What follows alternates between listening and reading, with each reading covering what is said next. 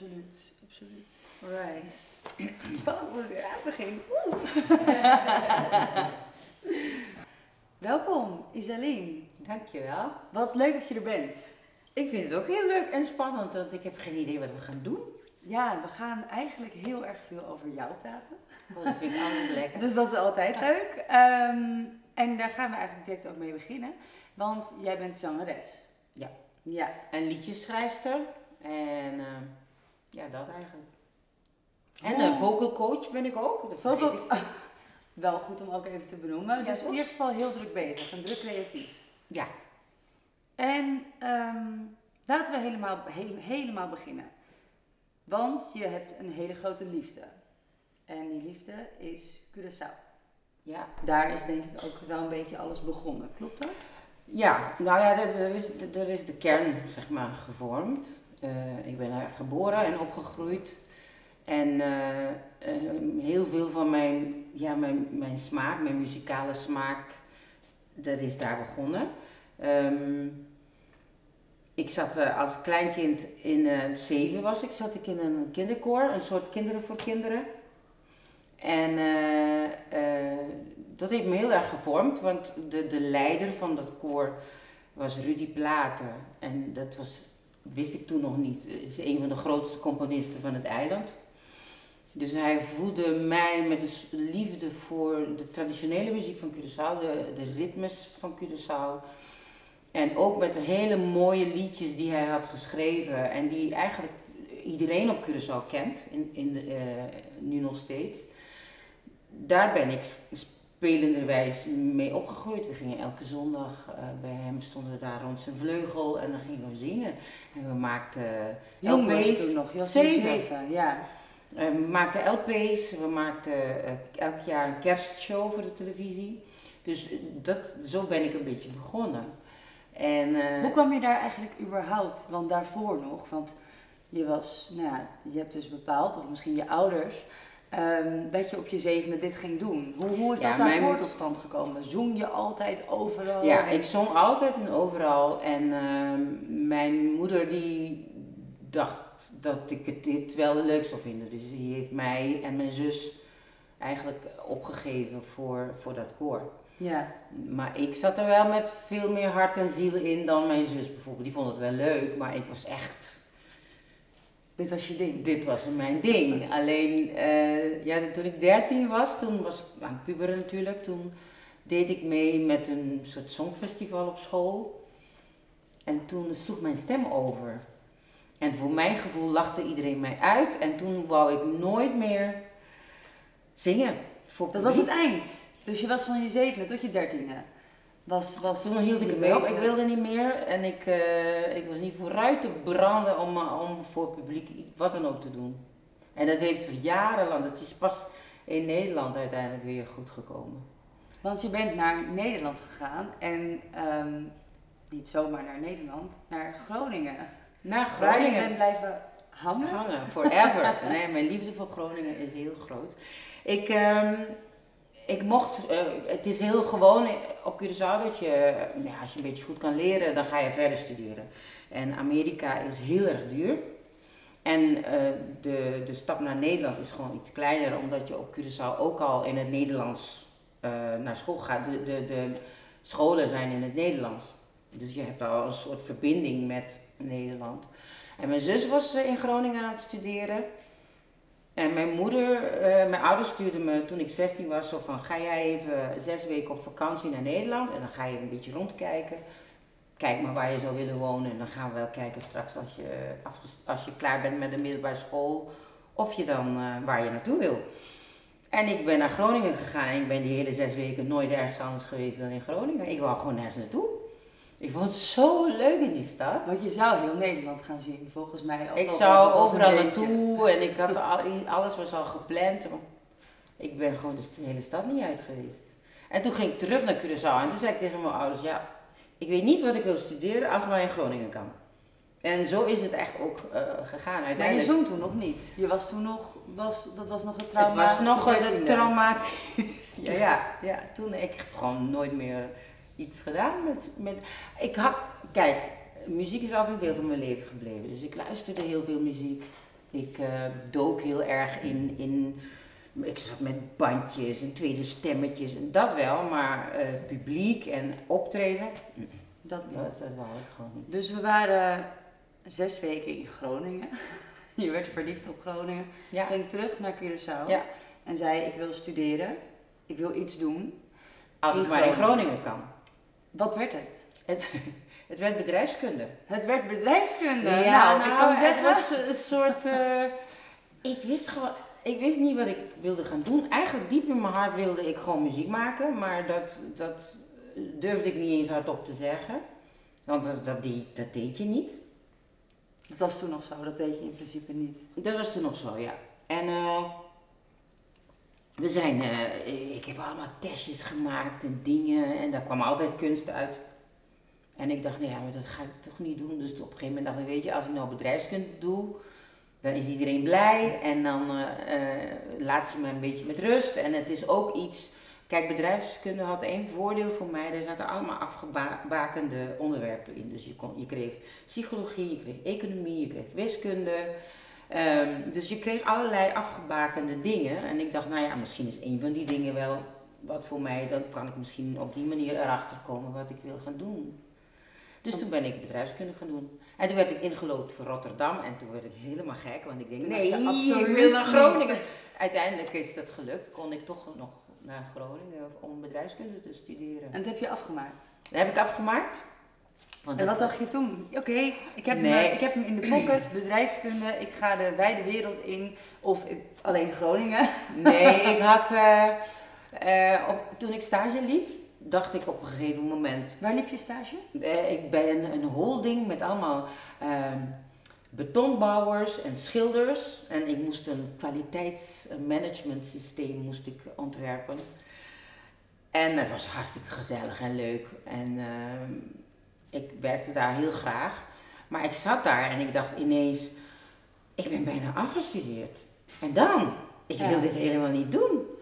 Dus toen dacht ik, eh, ik pakte de telefoon en ik belde het conservatorium.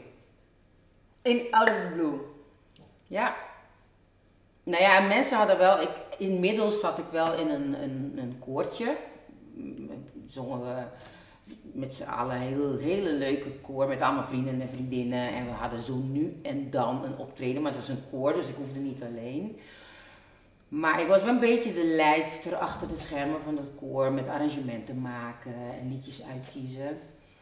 En mensen hadden een paar keer tegen mij gezegd, je moet eens, jij zou naar het conservatorium moeten.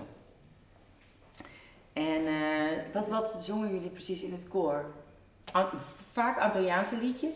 Meer stemmig, met eigenlijk best wel jazzy eh, arrangementen. Dat maakte ik samen met mijn huisgenoot. Zij speelde gitaar.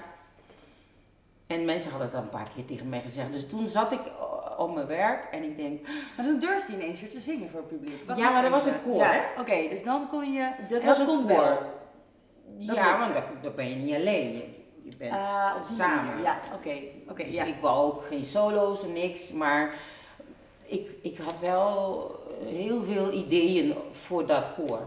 Oké. Dus ik zat al een beetje, waren wel een beetje eh, de leiders, mijn huisgenoot en ik. Dus ik bel het conservatorium op, ik zeg ja, ik wil graag toelating doen. En die, die vrouw zegt ja, nou leuk, die zijn volgende week. En ja, ik paniek, want ik wist niks. Ik had me helemaal niet voorbereid, wist ik veel. Dus toen heb ik vrijgenomen, ben ik naar huis gegaan en toen ben ik eh, als een gek iedereen gaan bellen die ik ken, die het conservatorium had gedaan, of ze mij wilden helpen met theorie en met liedjes voorbereiden. Want ik had gewoon één week om toelating te doen. En toen heb ik dat gedaan. Wat moest je doen? Wat heb je Ik gedaan? moest eh, vier liedjes zingen. Welke nummers heb je gezongen? Dat weet ik niet. Ik weet wel dat het alleen maar Spaanse en Braziliaanse nummers waren. Want je kon de taal. Ja, ja op Curaçao spreekt iedereen Spaans. Oké. Want je, je, je groeit heel dicht op Venezuela. En je kijkt eigenlijk heel veel Venezolaanse televisie. Eh, en ik weet nog twee dingen, ze zijn- vroegen, ze, vroegen ze aan elkaar in de commissie, dat hoorde ik achteraf. Kan dat mens wel Engels? Zeggen Nou ja. kan dat mens wel Engels? En ehm, de directeur die daar toen zat, in, in die commissie, die vond mij heel leuk. En hij zat daar omdat de normale zangdocent, die had een hernia, die was er niet. En hij dacht, deze vrouw vind ik leuk. En die zei toen tegen mij, Hoe mevrouw... oud was je toen trouwens? 23. Oké. Ja? En ze zei, hij zei toen tegen mij, mevrouw Kalister, u kunt helemaal niks. Maar ik vind u heel bijzonder. En ik vind dat we u moeten aannemen. En ik sta ervoor garant. Maar u kunt helemaal niks. U kunt Dat helemaal niks. eventjes- Maar eh, misschien als u heel hard werkt, dan, eh, dan eh, ik wil dat wel, ik wil dat wel aanzien. Ik wil dat wel eh, volgen. Dus gaat. godzijdank dat die andere docent een hernia had. Ik denk dat hij mij niet had aangenomen namelijk. Wat Deze man eh, bleek, hij is zo altijd in mijn leven gebleven ook, de directeur van het conservatorium. Want die heeft gewoon echt, op momenten dat ik het echt niet zag zitten, deed hij dan iets waardoor ik dacht, zie hij, hij gelooft in mij. Dus als, hij heeft er wel verstand van, dus ik ga maar door. En zo begon je aan het conservatorium, dat duurt vier jaar, Dat was toen vijf jaar. vijf jaar. Hoe en, begon je? En ik had dus een jaar dus dat ik allebei deed. Dus ik was aan het afstuderen voor bedrijfskunde en ik deed... Oké, dus liep cons- totaal in elkaar over dit. Ja, Dat is wel pittig, want het zijn ook nog eens twee uitersten, lijkt me eigenlijk. het was eh, niet te doen. En hoe heb je het gedaan? Nou, door eerst heel veel onzin in te leveren. ik was toen mijn scriptie aan het schrijven en mijn eh scriptiebegeleidster die werd gewoon helemaal gek van mij. Omdat ik, dan had ik een optreden gehad en dan zat ik om één uur s'nachts en dan dacht ik, ah, ik moet morgen tien pagina's inleveren van mijn scriptie. Nou, dat kan, het was ook niet goed. Maar op een gegeven moment heb ik eh, vrijgenomen, drie maanden van alles. En ik ben helemaal, ik heb alles weggegooid wat ik had en ik ben gewoon die scriptie helemaal opnieuw gaan schrijven. En toen was hij in één keer goed. En toen was ik afgestudeerd. En toen kon ik eh, op dat conservatorium me helemaal wijden aan de muziek. Want ik voelde wel dat dit, dit, dit, dit is het beste wat me ooit is overkomen. Dit is wat ik wil. Hoe deed je dat eigenlijk financieel toen? Ik, heb, ik had ehm, een soort beurs. Ik had ehm, tot mijn 27ste dan had ik natuurlijk die basisbeurs. En toen ben ik gewoon als een gek gaan lenen. Maar ik heb vanaf het begin heel veel gewerkt, eh, gezongen. Ik had al vanaf dag 1 op het conservatorium heel veel werk als zangeres. En eh, eigenlijk is dat nooit eh, anders geweest. Dus het is altijd zo gebleven. Want je had dus je diploma behaald. Bedrijfskunde, toen ging je naar het conservatorium. Ik denk dat je wel wat baanzekerheid betreft, zat je mogelijk met bedrijfskunde beter. Ja, ik heb, ik heb nooit, nooit iets meer gedaan. Nooit. Ook nooit meer als backup plan. Ik heb het nooit nodig gehad als backup plan. Het heeft wel mijn denken veranderd. Kijk, ik ben blij dat ik die volgorde heb eh, gedaan, want eh, ik zie dat nou nog steeds op het conservatorium. Mensen die dan met lichtjes in de ogen van, hij ik word, ik ga zingen. En verder niet nadenken over hoe dan. Ik was vanaf dag één, was ik daarmee bezig. Wat ga ik doen? Waarom zouden mensen kaartjes voor mij kopen? Hoe ga ik dat eh, altijd? En waarom zouden ze dat doen? Of waarom dacht je toen, Uiteindelijk eh, eh, omdat ik gewoon heel bijzondere muziek ging maken. wat voor muziek ging je maken? Ik maakte iets wat er nog niet was. En dat was ja, in het papiaments eh jazz. Maar wel uitgaande van de ritmes van Curaçao. Maar gebruik maken van alles wat ik heb geleerd. En wat ik heb gehoord aan, aan, aan fusion, aan, aan Braziliaanse muziek, aan popmuziek. Eh, en dat allemaal bij elkaar in hele oorspronkelijke liedjes. Maar dat duurde even voordat ik dat vond. Hè? Dus het was, ik was vanaf dag één op zoek. Maar dat duurde best een jaar of drie, vier voordat ik dacht. Want met welk nummer of welk album begon het? In mijn allereerste album, eh, nou, het begon eigenlijk, eh, op een gegeven moment ontmoette ik ehm, een paar jazzmuzikanten hier in Amsterdam. Die uit Curaçao- verliet Groningen. Nee, nee, nee. Ik, ben, ik Oh, nee? er nog steeds. maar ehm, ja, qua muziek eh, kwam ik wel veel hier, hier terecht en in Rotterdam. Maar ik ontmoette Erik Kalmes. Dit is een bassist. Die woonde al heel lang in Nederland en die speelde al heel lang jazz. En die was zelf ook op zoek naar een manier om jazz te combineren met zijn roots. En hij vroeg mij ehm, om te zingen bij zijn band. En bij hem heb ik, heel veel geleerd over ja, liedjes schrijven, ehm, arrangeren, eh, zoeken naar eh, nieuwe manieren om, om muziek te maken. Maar ik dacht op een gegeven moment wel, ja, ik heb hier veel geleerd, maar als ik het zou doen, zou ik het toch net anders doen. En toen, toen was het tijd voor mij om het zelf te gaan doen. Hoe ging je dat zelf doen? Hoe ga je ineens... Nee, dat is niet ineens. Hè. Daar gaat toch heel veel tijd overheen. Kijk, ik had, in de loop der jaren had ik de mensen ontmoet met wie ik wilde werken. Je, je ontmoet dan zo nu en dan hier iemand. denk je, oeh, als ik, als ik een band zou hebben, zou ik hem vragen. En dan doe je er niks mee, maar dat heb je in je achterhoofd. Dat had ik tenminste. En zo had ik op een gegeven moment dacht ik, nou, volgens mij heb ik iedereen ontmoet. Heb ik het bandje ontmoet zoals ik dat zou willen. Ehm, ik heb een paar ideeën om mee te beginnen. En ik vind dat we maar, maar moeten gaan repeteren en dan kijken we wel wat er gebeurt. Want hoe gaat dat dan zo inderdaad? Want je, hebt, je, gaat op een gegeven moment dan je band samenstellen, maar je moet ook maar van iedereen verwachten dat die tijd in zoiets is er dan. Wat is dan Ja, nou ja, ze, dat, je, zij moeten bepalen of ze dat zien zitten, of ze dat willen, dat die tijd willen investeren in, in iets nieuws wat er nog niet is. Maar eh, iedereen had wel het gevoel dat er iets bijzonders uh, aan het broeien was. Ik, kijk, zij waren allemaal steeds wel um, bezig, maar het was allemaal instrumentaal. En echt, dat, dat, dat, raakt mensen ook. Maar tekst en een, een, zangstem, dat is wat uiteindelijk rechtstreeks een hart ingaat. Ja. En uh, ik had melodieën en ik had teksten en ik had niet alle kennis van akkoorden en mooie jazz-arrangementen en zo, maar dat hadden zij dan. Dus als ze samenkwamen, dan gebeurde er gewoon iets heel bijzonders. En dat voelde iedereen bij de repetities en toen gingen we. En ik was iemand, ik denk, als ik niet investeer in mezelf, wie moet het dan doen? Dus ik had gewoon gedacht, ik ga gewoon een CD maken. Daar ga ik geld in stoppen.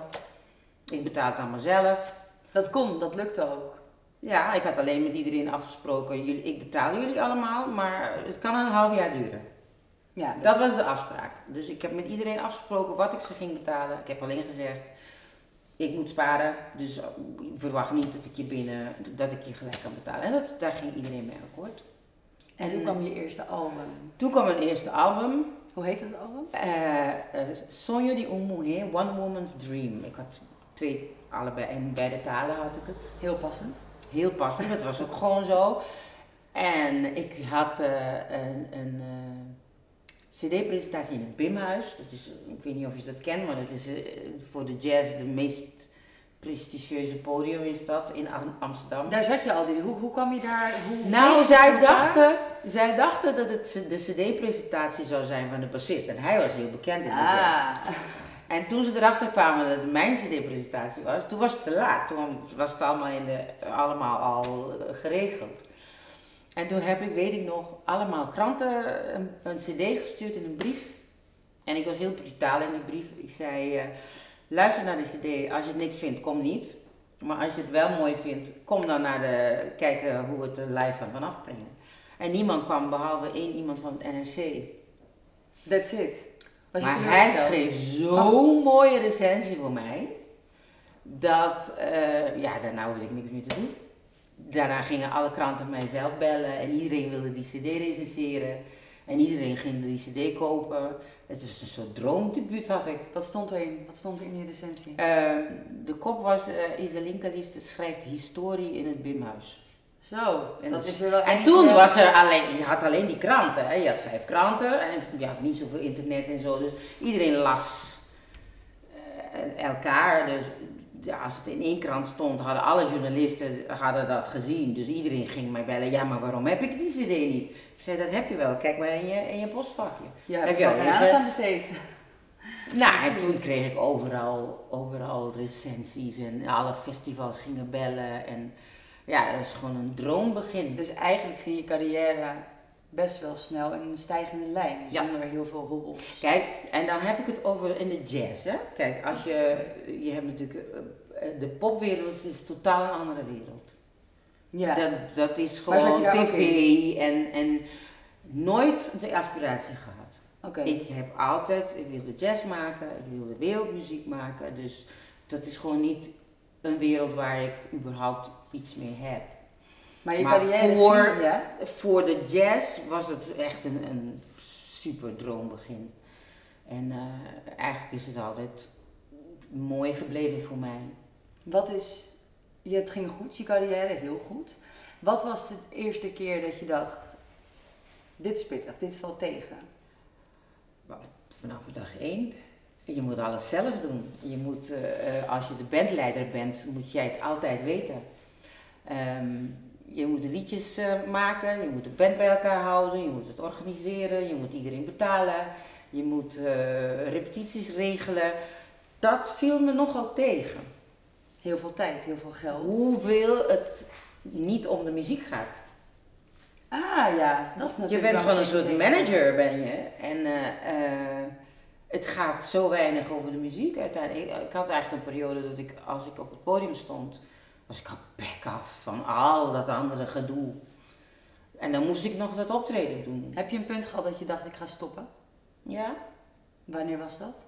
Nou, ik ben, eh, ik denk een jaar of tien geleden, dacht ik, ik wil geen bandleider, band- bandleider meer zijn. Ik heb er genoeg van.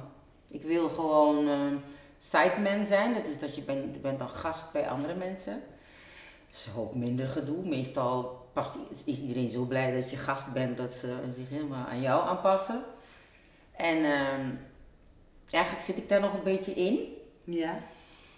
Alhoewel ik mijn band wel begin te missen nu. Heb je al lang geen band meer? Tien jaar. Ik heb het eigenlijk Je bent toen ook gestopt met je band. een beetje wel, ja. Om toch... Ik was het gewoon, weet je, de kar trekken, dat kost gewoon heel veel energie. En je moet de, kar trekken op alle, alle fronten. Dus je moet alles artistiek verzinnen, alles logistiek voor elkaar krijgen. Ik heb wel een manager, eh, dat had ik vrij snel gelukkig. En die haalt, die doet ook een hoop, eh, haalt een hoop. Maar er zijn gewoon dingen die je zelf moet doen. Je moet het altijd weten. Iedereen komt naar mij toe voor antwoorden. Vond je het niet heel eng om ineens dan op losse voeten te staan eigenlijk? Nee, omdat ik, ik had gewoon steeds heel veel werk als, als, als gast bij andere band, bandjes. En als eh, solist en als...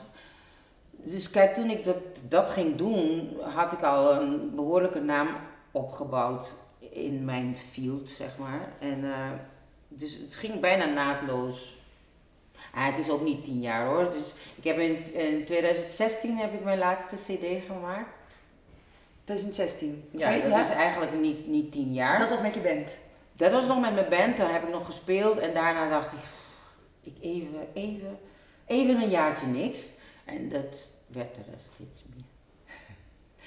Maar goed, ik ben wel blijven schrijven. Ik ben wel dingen, ik ben een, een kleinere bezetting begonnen. Eh, ik heb een trio met een gitaar en een bugel. En daar doen we ook, hebben we ook een cd mee gemaakt en daar speel ik ook heel graag mee. Maar dan zijn we met z'n drieën. Dus drie mensen verdelen de taken. Dus ik hoef het niet alleen te doen. Want hoeveel man was het eerst? Ik, mijn band was, we waren met z'n zes, zeven man. Ja, dat is een hoop. Dat is veel. Dat is veel. Het is, eh, en het ligt niet aan hun, hè. Het is, het is gewoon... ehm, je, als bandleider wordt er gewoon heel veel van jou eh, verwa- verwacht. Op een gegeven moment kreeg ik ook mijn dochter. Die is nu 11. En toen werd het allemaal ook nou, zwaarder. Want dan ben je ook moeder. Wat ook al eigenlijk fulltime is. Ja, dus ik had dat eerst niet. Dus ik kon gewoon vrijheid, blijheid, reizen, heel veel, heel veel reizen heb ik gedaan. Toertjes naar overal, hartstikke leuk. Toen kreeg ik mijn dochter, toen vond ik dat niet meer zo leuk. Ik kan me nog herinneren, ik zat een week in India. Ik was zo verdrietig. Want Zonder week- haar. Ja, Ik vond het heel erg. ja, dat snap ik. En dat was voor het eerst dat ik me, dat, dat, dat had, want ik ben altijd heel erg reizerig, ik hou ervan. Dus, eh, Je hebt ook getoerd over de hele wereld. Ik heb heel veel getoerd. En nu? Nu vind ik het gewoon niet, niet meer zo leuk. Nou, dat is dan wel het goede moment. Je hebt het Ik ga niet zo graag meer zo lang weg. En ehm, ja, je, bent, je wordt ook wat ouder. Ik ben niet meer gewoon, ja, als je, als je 27 bent en eh, dan is het gewoon, wil je ook wel in een bus slapen bij wijze van spreken. Dan maakt het allemaal niet uit. erg. Maar nu zou ik het, vind ik dat gewoon niet meer leuk. Wat doe je nu? Ik doe nu eh, ook veel spelen. Je speelt wel weer. Veel, ja. Ik ben niet nooit echt gestopt hè, met spelen. Ik ben gestopt met een band leiden, maar spelen heb ik altijd heel veel gedaan. Ja. Ehm, ik speel nog steeds veel. Ik geef les eh, op het conservatorium in Arnhem. Ik geef les hier aan de Kleinkunstacademie, de theaterschool hier in Amsterdam. En eh, ja, ik maak theatervoorstellingen. Ik ehm, schrijf liedjes, steeds meer ook voor andere mensen. Wat is nu je, je project, waar ben je nu mee bezig? Ik heb net een, een kinder CD, ah, boek, eigenlijk is het een, het is, ik ben auteur. Een kinderboek Oh. is het.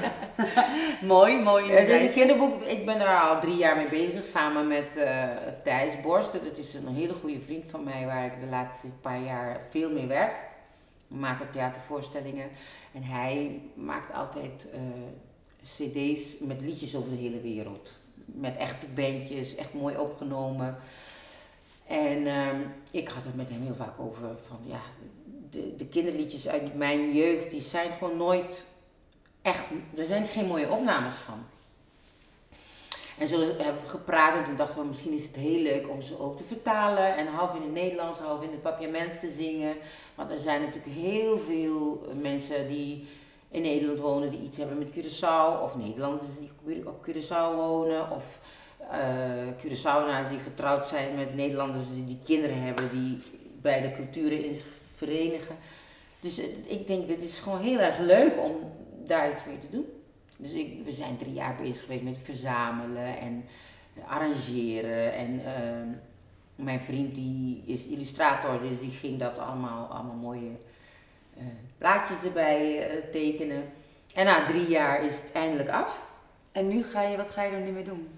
Ehm, ik ben nu eerst aan het genieten van dat het af is en van de reacties. We hebben nu, we hebben ze afgelopen, vorige week vrijdag eh, hebben we ze gekregen.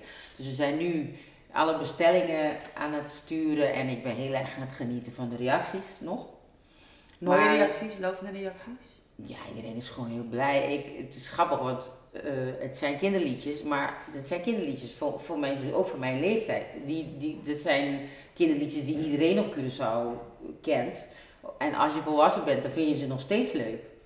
Dus dan, dan, dan ik vind ze, ik draai het. Want het is gewoon mijn, mijn jeugd, het is gewoon herinneringen. Ga je hiermee toeren ook? Ik wil dat wel, Ja. En ik denk namelijk dat, ik, dat het hele leuke concerten worden met ouders en kinderen die helemaal uit hun dak gaan en gaan meezingen en dansen. En, eh, dus ik zie allerlei zondagmiddagen voor me in mooie, leuke theaters. En dat het niet alleen voor kinderen is, maar ook voor volwassenen. En dat iedereen mee gaat zingen. Dus daar zijn we mee bezig, omdat ja, je moet een beetje afwachten wat er mag in het nieuwe seizoen. Maar dat wil ik wel gaan doen. Wat is nog iets wat er absoluut op jouw verlanglijstje staat voor de toekomst?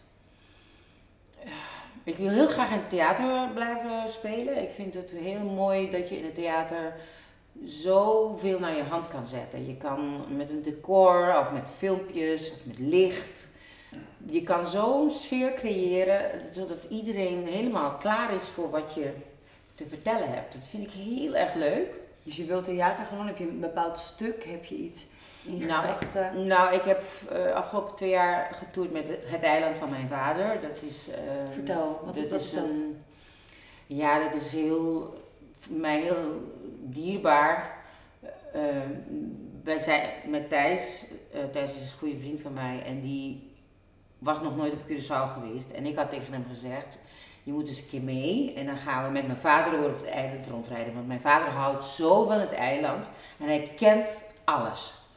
En zoals hij vertelt, dat, dat vonden we als kind al heel leuk om met hem mee te gaan, om hem te horen vertellen. Want het is, ook al vertelt hij het honderd keer, het is alsof hij het voor het eerst vertelt. Het is zo mooi.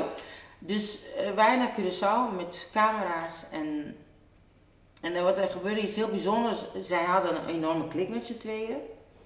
En mijn vader werd heel persoonlijk. Die ging ook over zichzelf vertellen, over vroeger, over waar hij geboren is en daar. En ook. En uiteindelijk hadden we allemaal mooie filmpjes en, eh, en mooie verhalen. En, eh, eh, Was het iets wat je altijd al wilde doen met je vader? ja, alleen het werd heel. Ik wist niet dat hij zoveel over zichzelf ging vertellen. Ik dacht, we gaan gewoon over het eiland praten. Het was wel een project wat je een beetje in gedachten Ja. had. Dan gaan we naar De, bedoeling was dat hij eiland. ons het eiland zou laten zien en dan zouden we filmen en dan zou het een mooie ode worden in Curaçao. Ja. Maar mijn vader die vertelde veel meer over zichzelf. Hij was zo open en toen hadden we allemaal, toen dachten we van wat gaan we nu doen? Gaan we het vasthouden bij het eerste plan of gaan we met mijn vader? Dus uiteindelijk hebben we gekozen voor mijn vaders verhaal. En het is gewoon een hele mooie voorstelling geworden, waarin mijn vader over zichzelf vertelt, maar eigenlijk krijg je ook het eiland mee. Snap je? En eigenlijk ook een beetje mijn jeugd komt daar langs. En het is mooi ook omdat inmiddels mijn vader is overleden. Oh wauw, dan heb je dit als Ja. ode aan eigenlijk. Ja. En ik weet dat hij, hij vond het heel erg mooi, want hij heeft het gezien. Eh, Toen wij nog helemaal niet wisten dat hij ziek was, zijn we naar Curaçao geweest om het te spelen daar. Hij heeft hij twee keer gezien. En hij vond het schitterend. En eh, dus het blijft een soort ding voor mij om dat te spelen. Want ik heb hem ook op beeld. Ik praat met hem op beeld. Dus het is Wat voor mooi. mij, het is heel mooi. En heel emotioneel lijkt me dat ook. Nu inmiddels gaat het. Maar ik heb Ja. wel een paar keer eh, dat ik het niet droog hield. Niet, niet op het podium, dat, dat, dat heb ik wel geleerd dat dat niet kan, maar achteraf. Maar nu gaat het heel goed. Ik geniet ervan en dan kan ik nog even doen alsof, hij er nog is. Maar als je zoiets moois hebt gemaakt, want dat is, de reacties zijn ook heel goed.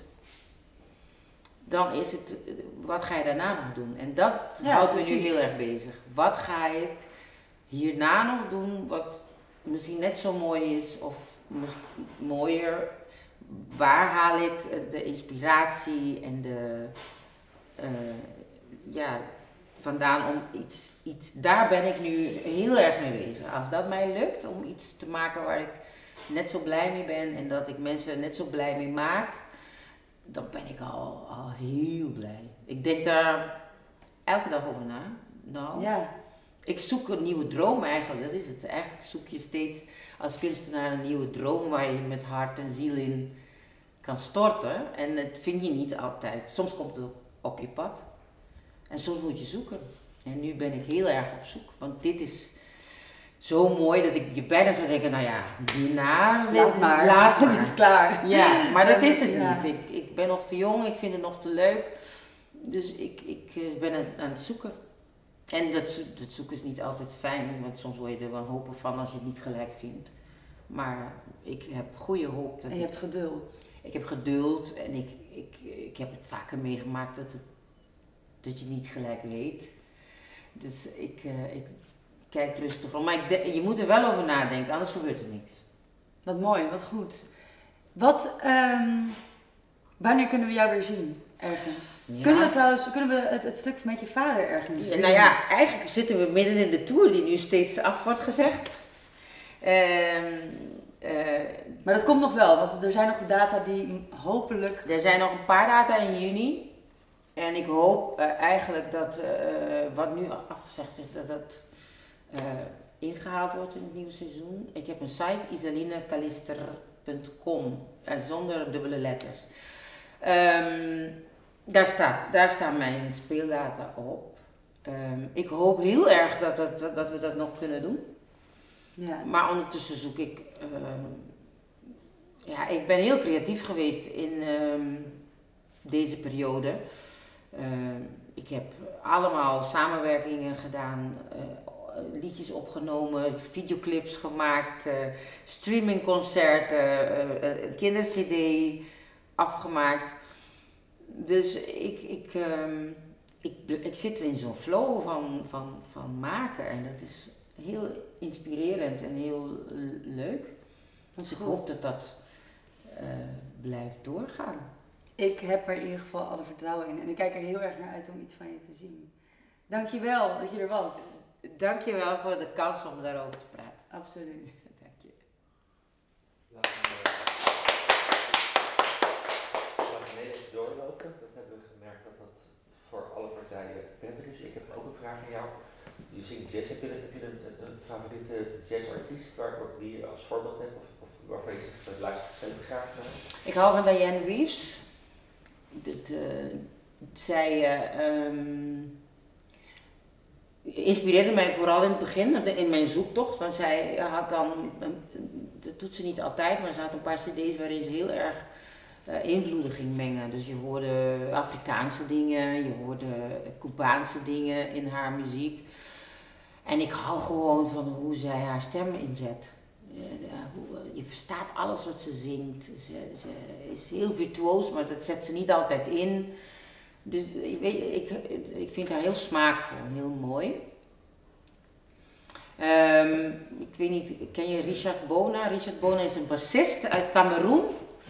Die uh, ook uh, eigenlijk uh, in zijn eigen taal zingt, maar jazzmuziek maakt, maar met zijn eigen roots. Dat vond ik ook heel inspirerend. En Sarah Tavares, is een Capverdiaanse zangeres waar ik ontzettende fan van ben.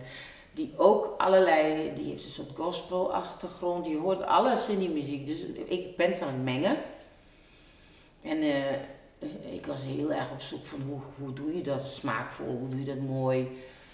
En toen kwam ik eigenlijk via hun erachter dat je gewoon dingen moet maken. Want alles wat je hebt gehoord in je leven, waar je van houdt, komt het toch uit als je zelf schrijft. En dan moet je zelf schrijven wel, zelf liedjes maken. En dat, zo is het bij mij gegaan. Wat is de titel van het jazzalbum? Welk jazzalbum? Nou, welke heb je? Ja, ik heb acht, acht ja, cd's. Hoeveel heb je er? Acht cd's? Ja. Zo. Ik heb acht, acht cd's gemaakt. Um, jazz, jazz is de laatste. Dat is live at het concertgebouw. Dus met de, met de gitaar en de, uh, um, en de bugel dat, dat was, is, hebben we live opgenomen in het concertgebouw. En dat is een soort combinatie van alles wat we mooi vinden. Dus er zitten Nederlandstalige liedjes op, mijn eigen liedjes en ook jazz standard, Braziliaanse standard. En dat is wat ik nu het liefste doe. Met dat bandje speel ik super leuk om te doen. Dankjewel. Ik nog weg. Nee hoor. Nee. Dankjewel. Ja, Ja. echt mooi. Echt mooi, ja. Ik vond ook het stuk over je vader echt heel... eh Ja, het is, eh, weet je, als je... bizar zeg. Lijkt me Ja. zo gek dat je dan nog met iemand... Dat je zegt dat je met, je met je vader in gesprek bent op een podium. En, Ja, ik had ja. er toen hij net, toen hij net was overleden, toen, dat ging, dat ging niet zo goed. Nee, dat snap ik. Het lijkt me heel... ik had eh, er een paar, drie geloof ik in december. Mijn vader is in november overleden en ik had ja. drie. Afgelopen november. Nee, het jaar Oh, daarvoor. Ja. Ja, dat, eh, was niet te doen. Nee, nee, dat lijkt me Dat was echt niet te doen. Maar ja, goed, daarna werd het wel troostend. Ja. Was het. En nu willen we naar Curaçao in september, maar ik weet niet of mijn moeder eraan kan. Oké. om te komen. Maar misschien ook wel, ik weet het niet. Dat moet ze even zelf. Ja. eh, ik vind het heel troost. Ik praat met hem en dan doe ik gewoon even alsof hij er is. Bijzonder zeg. Ik ben heel erg benieuwd. Het is heel, eh, het is ook een beetje raar. Ja, dat lijkt me ook. Maar eh, ik, ik heb daar heel veel aan nog. Ik word daar toch blij van om, Ja. om dat zo te doen. Ja. En dan in de auto zeg ik tegen mezelf, ja, maar hij is er niet, hè. Ik, ja, nee. Ja. Ik moet het wel in de auto's wel steeds tegen mezelf zeggen. Ja, omdat je natuurlijk zo'n zo'n gek contact Ja. gewoon met Ja. iemand hebt die er niet meer is.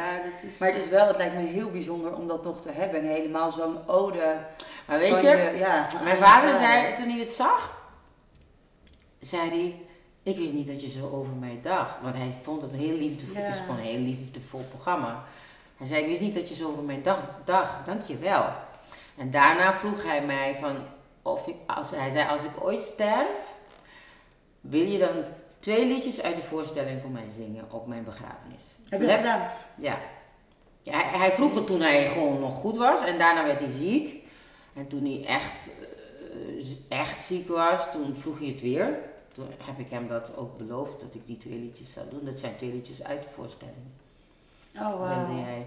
Dus toen hij doodging, ehm, zijn we ook, eh, alle kinderen zijn naar huis gegaan. We hebben drie weken mijn vader echt eh, verzorgd. Geen arts, eh, geen uh, verpleegster, we hebben het allemaal zelf gedaan.